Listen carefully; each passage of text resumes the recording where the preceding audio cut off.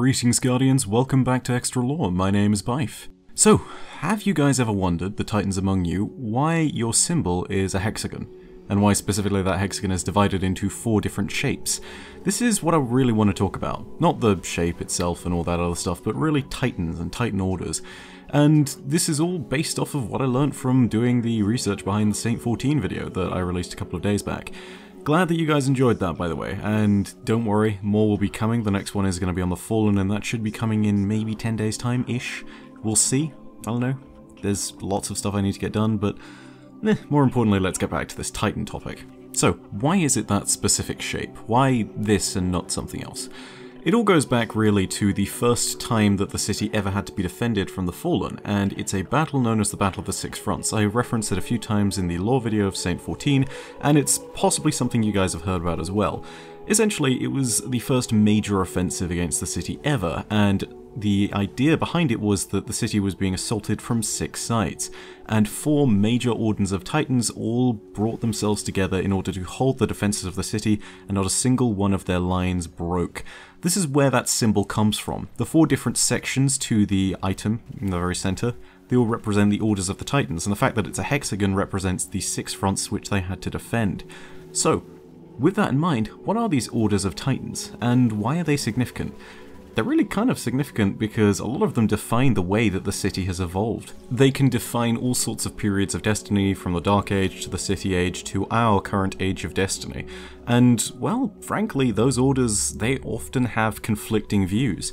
And more often than not, it's the fact that these views conflict that makes the Battle of the Six Fronts even more incredible.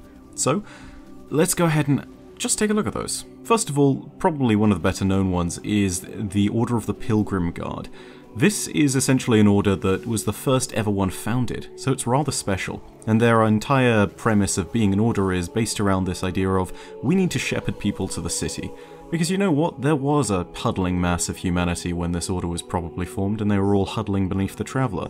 And they were moving through the wilds, they were moving through Thortland territory, so how well defended is that? Not very well defended at all. Lone titans, sometimes teams of titans, would probably go out and defend the citizens who wanted to make their way to the last safe city. These are probably some of the ones that would have eventually been around to pick up people such as Amanda Holliday when her family finally made it to the city. Now you've got to keep in mind as well that these orders have been around for so long, and the Pilgrim Guard will probably still be in operation today, although they'll roll back their capacities rather greatly. Maybe now they just do a lot more local security and reconnaissance, but still, they are written into the fabric of the city very much from an early basis. Now next, everybody has to ask themselves, we have an entire city that we have to defend, how do we do that? And Titans, quite notoriously, are the ones who came up with the solution of saying, let's build a wall. And these are kind of the origins of a not so well known order called the Stoneborn Order. And it's very much the case that these were the ones who are likely to be responsible for not only the greater defense of the city in its early ages, but also the construction of the first ever walls of the city. Think of that. They're probably significant because they are probably some of the first true Defender Titans.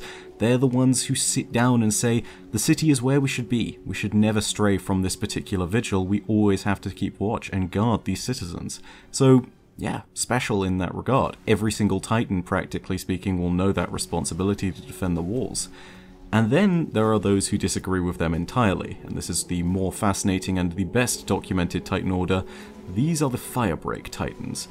Firebreak Order Titans essentially run with this premise. They still want to defend the city, but they believe in doing it in an entirely different way. They believe that if they can distract the enemy and draw their attention to themselves as opposed to the city, and thus, you know, save it, they will be doing a great deal of good. As a result, they have some rather extreme views. I mentioned in the Saint 14 lore video this idea of the fire break calculus. There are titans out there who I'm assuming would have done this in the lore. They would have literally gone and found a singular spot in enemy territory, and they would have done nothing but fight until they died.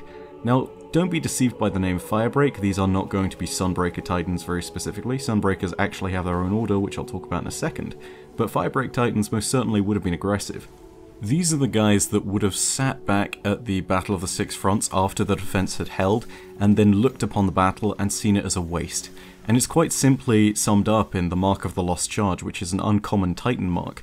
Which essentially says that the battle was a waste because they should have charged, they should have wiped the enemy out. And this really summarizes the way that Firebreak Titans really do break away from the norm. Titans are renowned for defending the city, holding fast, making sure that the defenses are held up no matter what, and yet the Firebreak Titans are so prominent because they stand against that very principle. They say if the enemy focuses on me, I should charge the enemy, bring the fight to them, and stop the city from being attacked in the first place. That is a complete departure from everything that most Titans believe. And finally, there's a Titan order that is very mysterious but could still be linked to the Battle of the Six Fronts, and those are the Sunbreaker Titans. Here is the really frustrating thing. The Sunbreaker Titans do have the symbol of the Titan on their mark, the mark of the Sun Forged. Now, that is not necessarily to say they were at the Battle of the Six Fronts, seeing as this symbol is something that's held by most Titans. However, it's frustrating as well, because then you think, we have three orders of Titans, hmm, that's frustrating because we need a fourth order in order to fill out one of those spots, and thus far we have Stoneborn, Firebreak, and Pilgrim Guard and we do not know what the fourth is. But in the meantime, let's go ahead and talk about some notable figures within these Titan Orders. The Stoneborn, practically speaking, has almost none, and that's really frustrating because, well, the Stoneborn Titans, they're kind of significant. They're the ones that built the first walls. Then you can go ahead and take a look at the Pilgrim Guard. They don't have too many notable figures either, but they do have one in particular that is drawn to their cause, and that's a Vell Tarlowe. For those who don't know, that's essentially the one titan that accompanied Eris Morn on her strike against Crota. Yeah, didn't end well for him. This is the guy that was killed by the Dark Blade. He is essentially one of the most legendary titans because he's one of those ones that brings about this entire sort of stereotype of titans being so strong that you could literally stand on their shoulders and they were giants. Vell Tarlowe was very much that individual. He was one who believed in protecting the city, and he was one who would, you know, joke often about how weak the enemies were. He is even quoted on the Nightbone Guard from all the way back in the Dark Below as saying, there is nothing better than feeding a knight a shard of their own. And this, you know, it goes to show the strength that he regularly submitted to the enemy. He essentially went up to knights and was quite content to do nothing more than beat them to death. These are Hive Knights. These have lived thousands of years in some instances, and they have studied in the sword logic, and for someone to just come up to them and literally beat them to death is well, it's a little bit scary from most instances. Firebreak Titans, on the other hand, are the most documented group of Titans in themselves. I talked earlier about how it is more than likely that Saint 14 was one of these, one of the Firebreak pieces of armor literally states it's not about landing the headbutt, it's about dislodging your head after you do it. There are subtle references that always point to Saint 14 as a Firebreak Titan, and the fact that he eventually goes on crusades against the Fallen shows this tendency. Now, the reason why occasionally I'm stating that he's not, even though in my Saint 14 lore I'm almost positive he is, is because of the fact that he could have been influenced ever so slightly by Osiris, and of course Osiris is one of those figures that does believe that we can't just defend the city, we need to do much more about it. So, yeah, there's sort of a however you want to interpret the lore type scenario there, but there are some other definite Firebreak Titans, in particular stemming from the Battle of the Six Fronts. After the defences had held and after the Fallen had started to, for the most part, retreat, two Titans in particular led war bands out there in order to reclaim the city. And, well, not just the city's walls that had been abandoned, but also the land outside it, which previously had been more often than not safer than everything else on Earth. This was Guardian territory, it was something that the Fallen mostly feared to approach.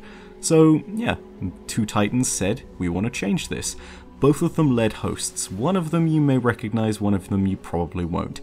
The two titans were Radegast and Jagi. I say Radegast as in Radegast's blade, as in Radegast's fury, the rocket launcher. Radegast was one of the early Iron Lords, and he was not necessarily proclaimed as an Iron Lord until after this event.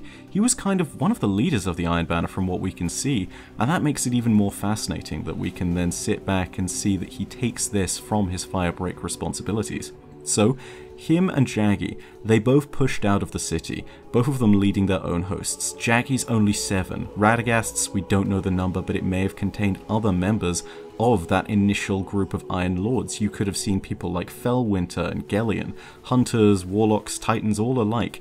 They pushed back the enemy for five miles worth of territory, burning the land as they went in a scorch and burn tactic. They would not surrender any of the land yet again to the Fallen. It was going to be theirs once more. And then the two hosts split. Radegast's host marched for five miles in order to reclaim that land from the city, but then Jagi's host and his seven split off, and they headed in the direction of the Caspian Sea. Incidentally, this does give us a nice sort of geographical location for where the city is, meaning it's somewhere around that Black Sea area, so think Russia, think Ukraine, think Crimea, that kind of area. You're also then looking at one of the greatest mysteries ever known, because slowly, the ghosts started to return from that party, but without the Guardians, until all seven had finally left. Jagi's seven had disappeared, and after the march was done, everybody remembered them. His jaguar, his leopard, call it what you will, is enshrined in most Titan marks, even down to the 12th age of Titan marks, he's remembered in this design, and it's something that even works its way into weaponry. The BNGL Stalker, for example, is a rare weapon that comes from the Dark Below, and it's made simply with that pattern as a memorial to the way that Jagi would have reclaimed the territory. He is a ghost to us now, but even so, he fought the Fallen back all the way to the Caspian Sea and was never heard from again. It's sacrifices like these, these individual acts of bravery that really do define the Titans, and that's what makes it so exciting to talk about them for so many instances. There are, of course, also the Sunbreakers. Now, we don't really know much about their legends at all, they are an enigma to us for the most part. The one that we do know of is Aurus, and she is a Sunbreaker Titan of incredible power, and we have heard none of the legends, surprisingly. But if half of them are true, apparently she's one of the greatest Titans left alive. More on that probably if ever we discover Osiris, seeing as Osiris is probably linked to the Sunbreaker Titans, they will probably act as his personal guard. I would not be surprised at all if they are linked to the Disciples directly. Okay, so something rather remarkable happened literally when I was mid-editing this. So I was waiting for one of the files to render out and I was doing a Vanguard strike as a little kind of refresher and, well, just to pass the time. I got a legendary first pillar mark to drop and I realized that I was an idiot and hadn't read through all of the item descriptions on destinydatabase.com. As a result, well, we now know what that fourth order is probably made up of. This is the first pillar mark, and it is specifically making relation to the many strategic victories of the first pillar order not being without cost. So, yeah, we have our first pillars. Those are the fourth order. The cool thing about these is that the first pillars appear to be built on legend. The only references that we have to them in any other form are in the Morveau Type 0 armor, and it basically mentions all of these titans who made heroic stands at various different places. So for example, you have the last stands of Emon de Swale that were made in the Cosmodrome, the last stands of Gunver the Dawncaller, who gave her last full measure in the Ocean of Storms. Possibly she was killed by Crota. And then, you know, you've got all sorts of others. Individuals killed at the Twilight Gap battle in the European Dead Zone. And it makes some sense for this to have happened. It makes a certain amount of sense even, maybe, that these were individuals who might have gone along with the Firebreak Order when they made their heroic charges. After all, it does go ahead and say that Emonda Swale did give her last full measure in the Cosmodrome, and if it is close to the city, like this law suggests, then heck, we may have a little bit more information on Jagi's party after all. So, yeah, I don't know, this was kind of a weird little happening for me, kind of fated. Just goes to show, guys, um, don't take everything that I say to be the complete truth. You guys can always prove me wrong simply by doing a little bit of research of your own. Look into the law, get interested, get involved, because you know what? I'm not completely right. I'm a fallible source. I nearly missed this. That's kind of incredible. So, yeah, I don't know. With that in mind, I hope you guys look forward to the next law thing, and never be afraid to challenge me on these. It's what's so cool about this. We have a community here. In the meantime, though, guys, my name has been my name is Byf. For Audacia Astra. I'll see you Starside.